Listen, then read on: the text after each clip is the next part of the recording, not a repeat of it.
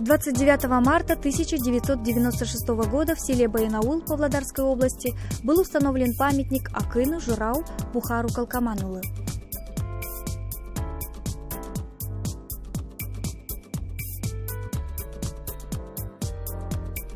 В 2005 году в Павлодаре прошла первая республиканская олимпиада студентов, посвященная 90-летию доктора исторических наук, академика Ермухана Бекмаханова.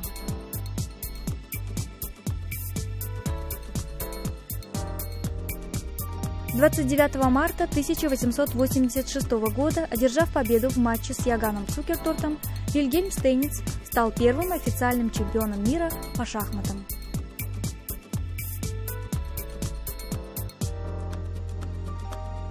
В 1998 году, к началу Всемирной выставки «Экспо-98», в Лиссабоне был открыт самый длинный мост Европы – мост Васко-да-Гама.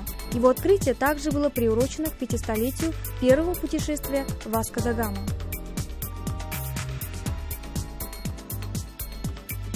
Двадцать 29 марта 1927 года родился британский фармаколог, лауреат Нобелевской премии по физиологии и медицине Джон Роберт Вейн.